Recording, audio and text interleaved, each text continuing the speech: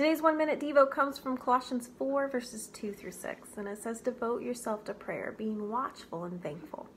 And pray for us too, that God may open a door for our message, so that we may proclaim the mystery of Christ, for which I am in chains.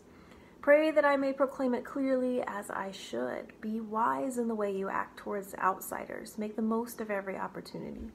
Let your conversation be always full of grace, seasoned with salt so that you may know how to answer everyone.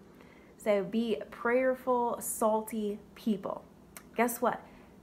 Talking about Jesus doesn't have to be boring or bland. We serve a Savior who died on a cross, fought off evil forces and death, and came back to life. That is something that's interesting and exciting to talk about.